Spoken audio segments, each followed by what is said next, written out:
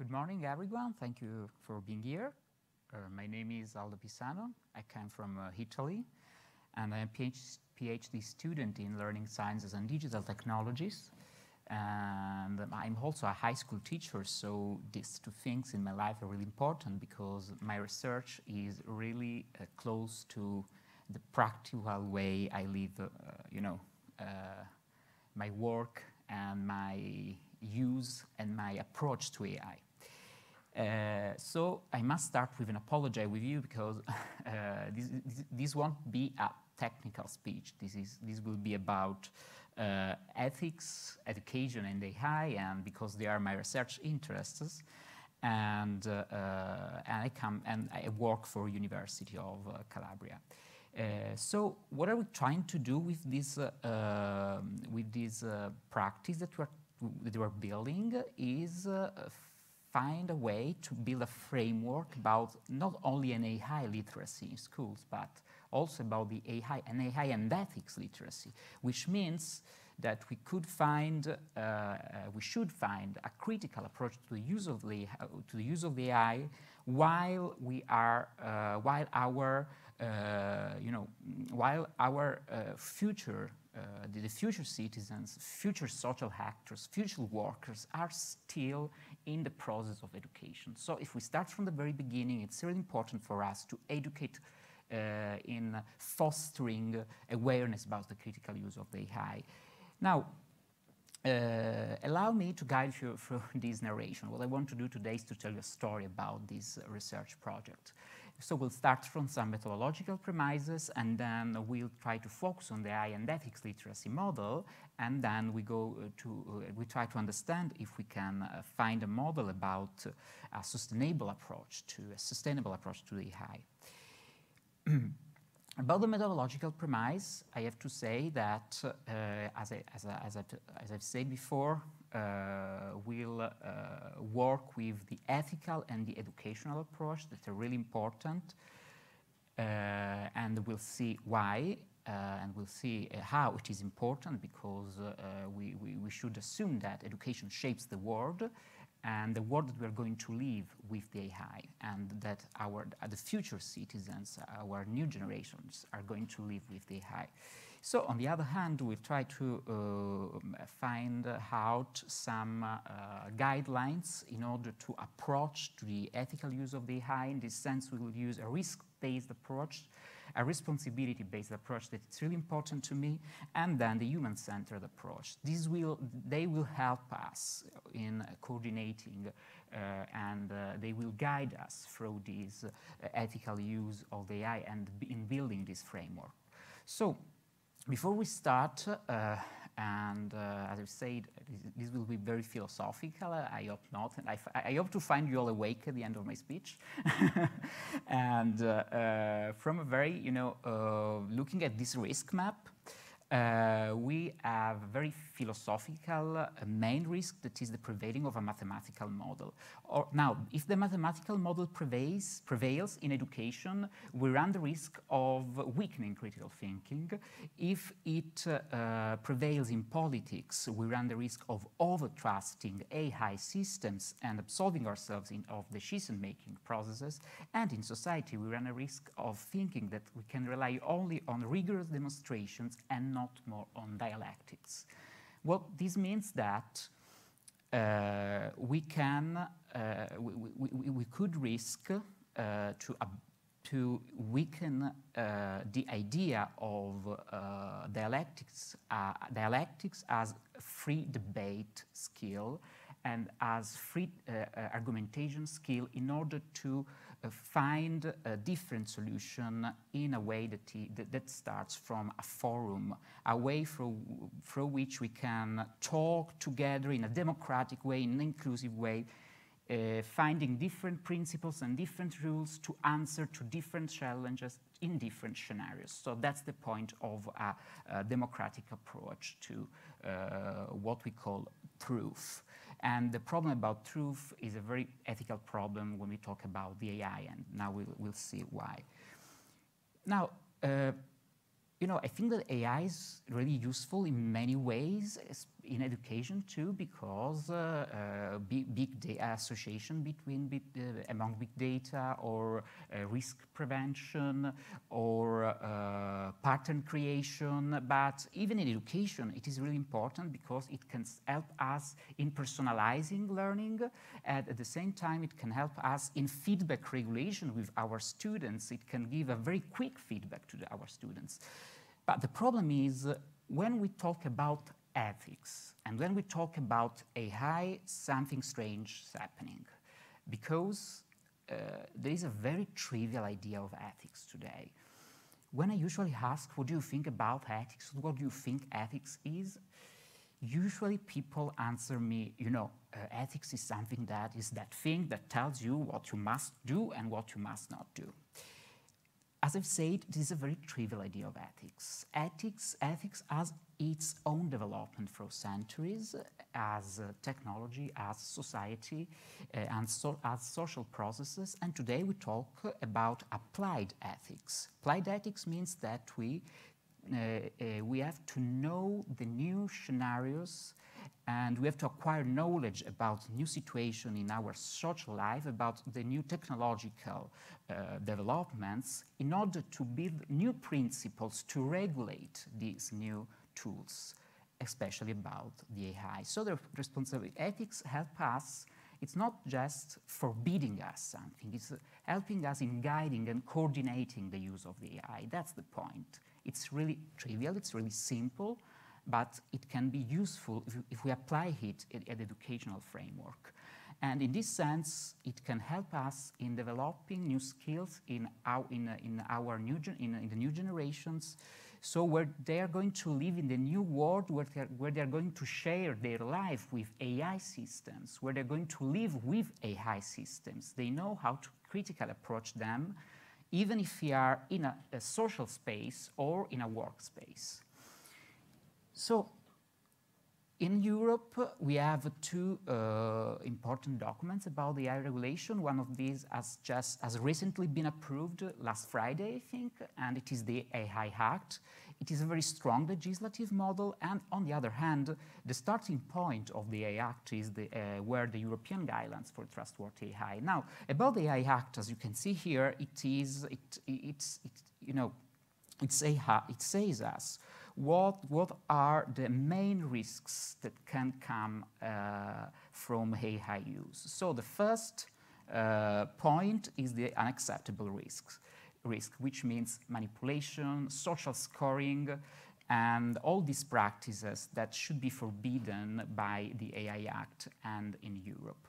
Now, the point about the, the AI Act, it has, it, it has been discussed a lot because you cannot deny possibility to companies uh, or industries to develop new systems and at the same time uh, you, but at the same time you should regulate uh, the use of the AI to prevent uh, and uh, to, to, to, preserve uh, democracy, to preserve pluralism.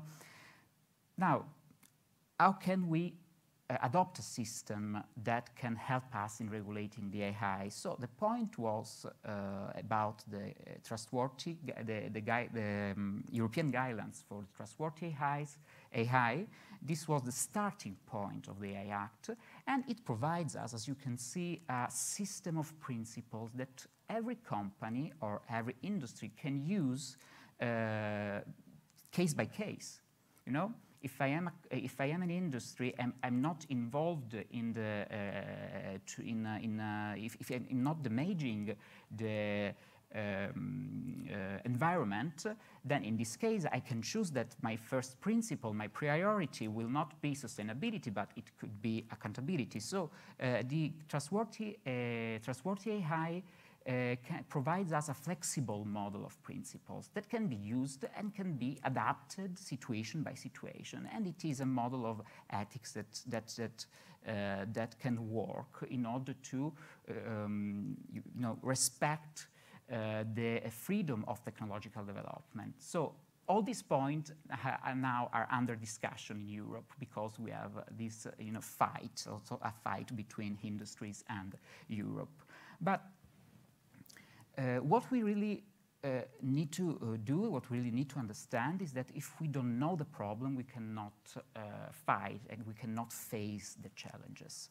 So uh, let's make an example. Between the end of the 18th century and nowadays, we have witnessed, uh, uh, you know, um, um, an increasing development of use of cars, vehicles, and what have we done? Have we denied the possibility for everyone to own, its, uh, to own her or uh, his car? Obviously not. What we have done was to reshape the world, was to redesign the world, building streets, building interstates, and at the same time, we build new rules. That's what a model of ethics can help us, building new rules for new scenarios that are coming up.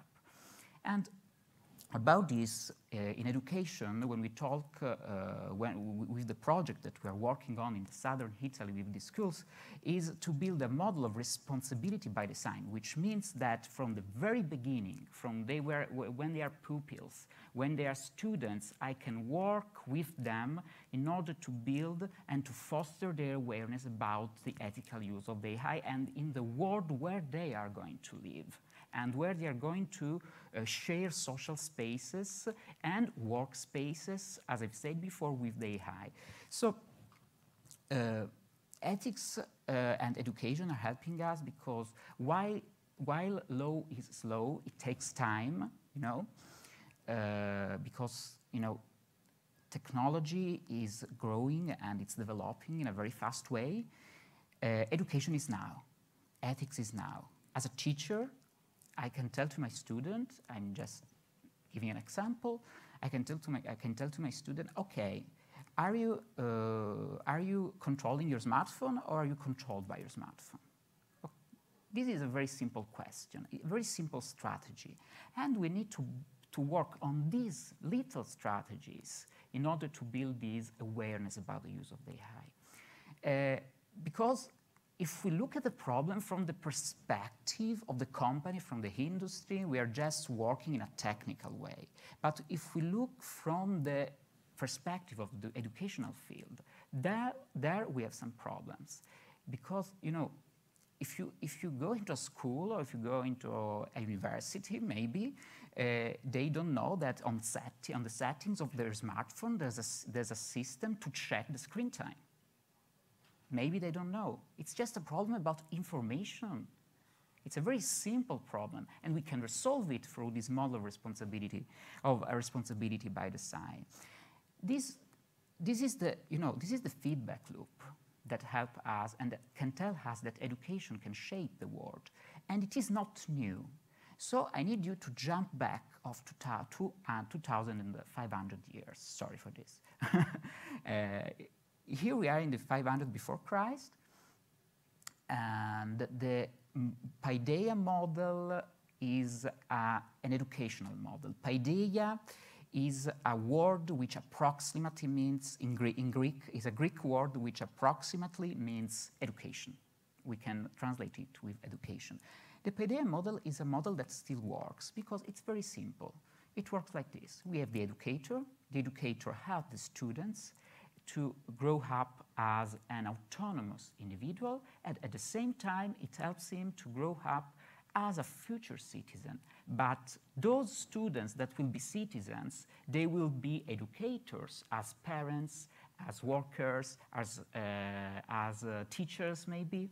And so here we go again with the feedback loop of Paideia. This, this is a model that still works, but the question is, has it changed for centuries? Obviously, yes, because for, uh, between, for centuries we had the mediation of technology. Technology put itself between the social actors of Paideia. And today the problem is not about this, because we always had a tool of mediation. From book, now we have e-book, from Blackboard, now we have digital board. That's not the problem. The problem about the AI is that it is not between the social actors of the Paideia circle. It is among us. It is through us.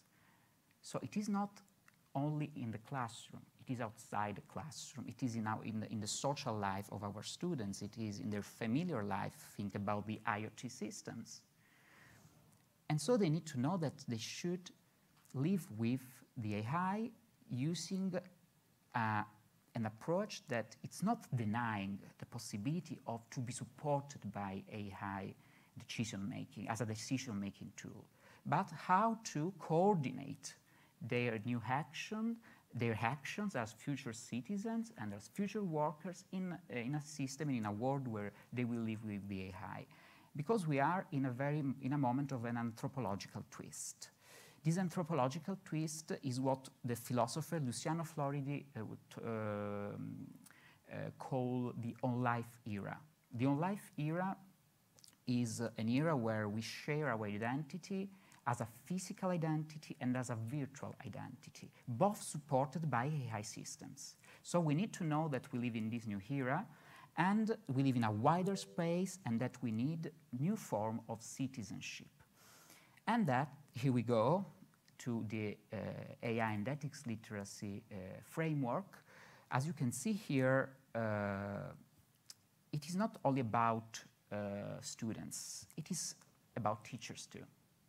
We, we cannot think that we can only educate students. We should educate teachers, and those teachers will educate other students in this ethical approach to the AI. But today we will focus just uh, uh, on students, and when this question and when this problem about uh, uh, if we need and why we need an uh, if we need an AI and ethics literacy came up to my mind, it was 2019. Uh, it split into three other questions. The first question was why an AI and ethics literacy, how an AI and ethics literacy, and where an AI and ethics literacy. About the why, it's what we have talked until now, and uh, just this is a little debriefing for you, why it's just to promote a critical use of the AI in order to prevent manipulation, prevent discrimination, protect autonomy, responsibility, and support such, social society and politics. About the how, this is a very core, a very core uh, topic. Uh, because here we need to understand that we cannot only educate towards the AI or with the AI as a tool, but we need to educate the AI itself. I'm thinking about, about those uh, students uh, who will be uh, programmers, who will be mathematicians, who will be engineers in industries, and they will train algorithms. So in, those, in, in that sense, they need to know now that the algorithms that are more pervasive and AI generally will be more autonomous, more adaptive, it need to be educated to answer to different scenarios in the specific way that the scenario requires.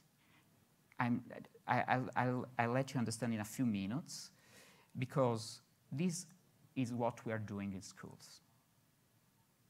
This is very simple.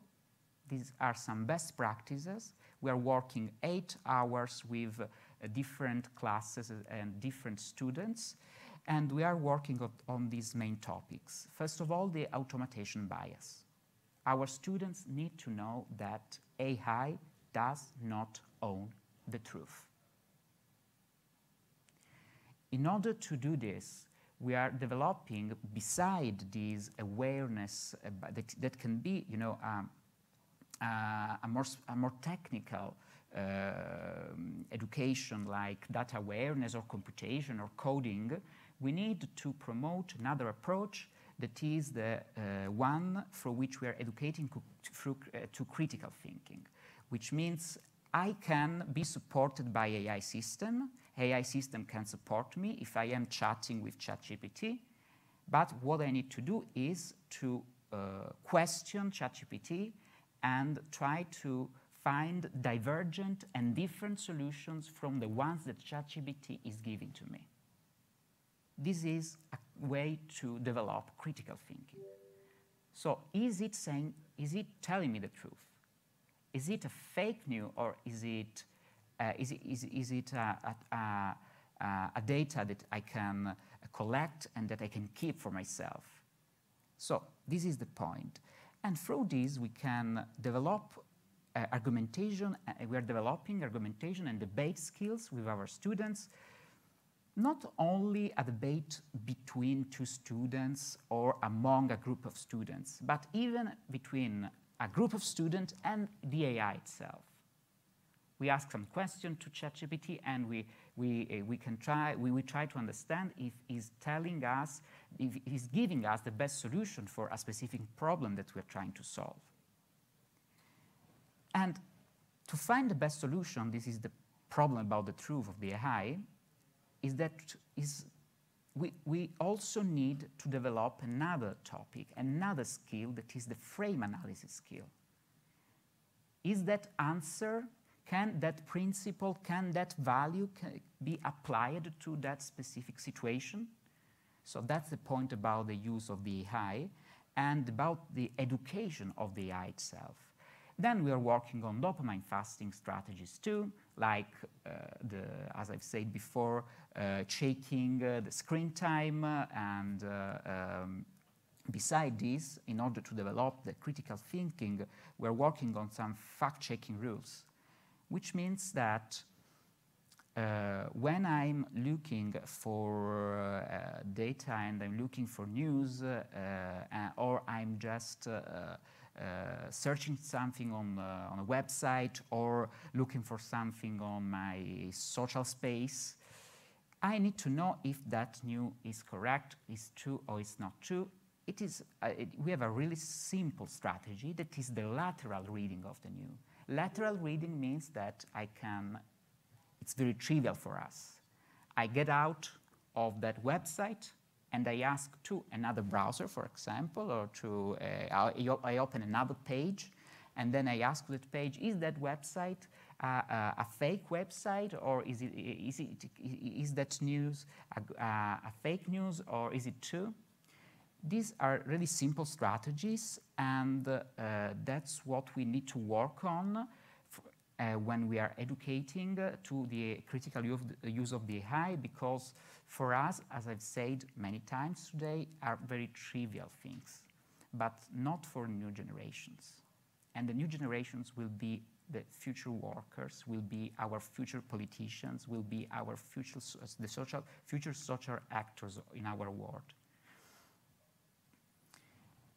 We're I'm at the end, almost at the end. Um, we are doing this, doing this work in 12 classes in the southern Italy, and we are doing it during, during the hour of uh, civics, uh, which means adopting an interdisciplinary approach.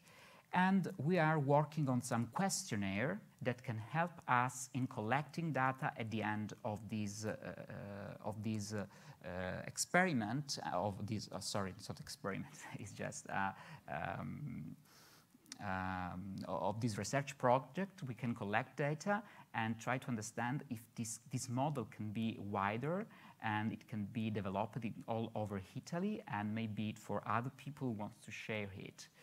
Then uh, what we are doing very simply is that is we, are working not only on knowledge but also on competences to build this social sustainable circle of the use of the AI.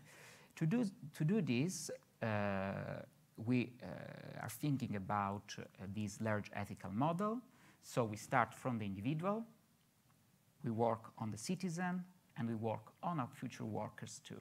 So we are rethinking that Paideia circle in order to uh, help our students as future workers in future companies to be aware about uh, the danger, how, how, AI can be dangerous especially in the use of uh, that, that we have with uh, mm, training algorithms with data sets that could be incomplete, for example, and they could, could not represent some group of people. So in this sense, and I am almost at the end, uh, we are developing another idea that is not about schools, but it is about industries and companies. This model is the EC AI model, uh, ethical counseling for AI. Uh, this is between the programming phase of the AI in the, uh, in the company and the application phase of the AI in the, in the company or in the industry. And uh, this, is, this can be very useful because it helps in preventing irreversible risks, irreversible ethical risks, risks like discrimination.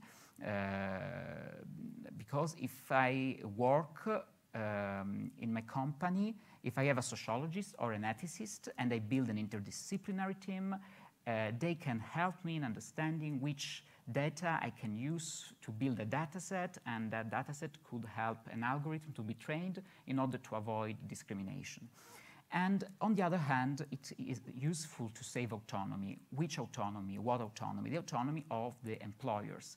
Because in a, in a, in a world and in a workspace where AI is more autonomous and is more adaptive, we need to uh, increase the awareness about uh, of the um, employers themselves.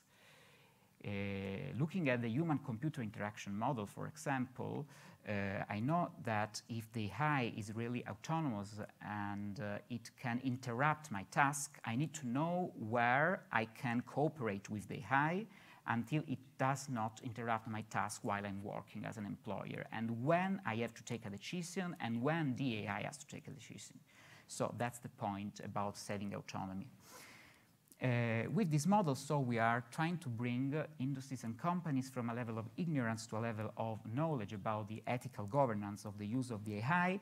And we have two different models. The first one is a soft model. It's a model of networking. Uh, it's very cheap for an industry or for a company because it's just to inform about the ethical use of the AI I can just uh, adopt some principles and some rules for uh, the governance, the AI governance of my um, my company. I can uh, upload them on my website, and then I create a network. So those uh, companies and those industries do, which don't know anything about this can uh, share this knowledge and so maybe they can adopt other uh, form of principles to regulate their own system of AI.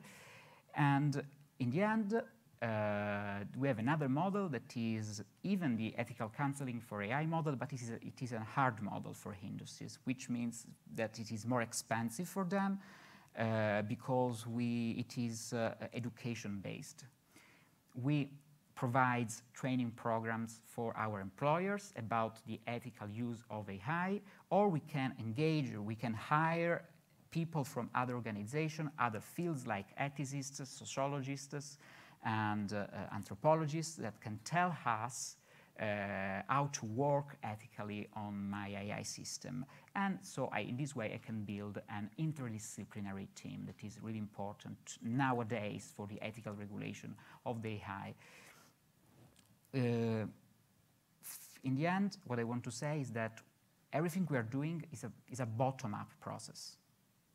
We're working with education, we're working with students, we can work with, our, with employers if we are an industry or a company, but we also need other tools that are in top-down intervention tools like politics, and especially in this sense, politics, needs, need, politics can help us preserving pluralism, complexity, and truth.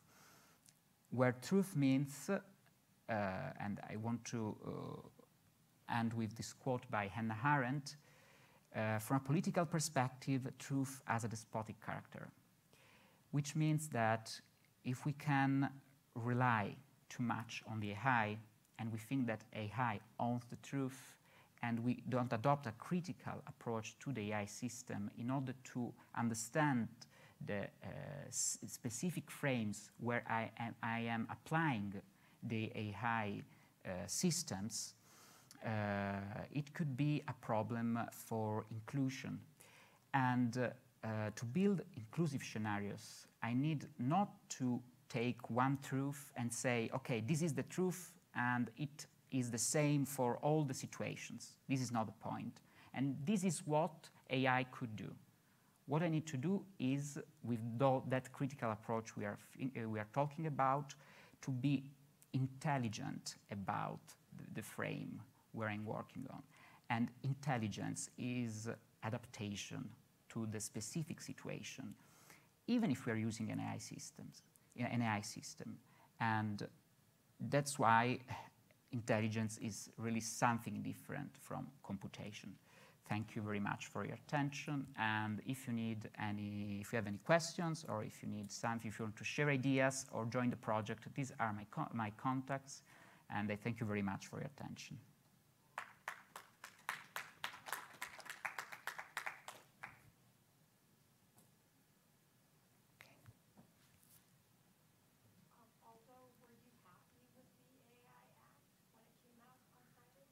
Oh, this is a very uh, strong question.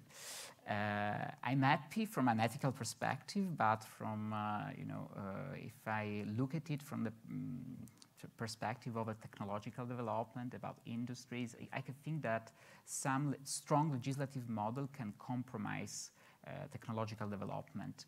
Uh, but from a, a, an ethical perspective, I'm happy, especially when we talk about the social scoring tools that, uh, and uh, manipulation tools. so that, that's the point where I'm really ethically happy. Thank you.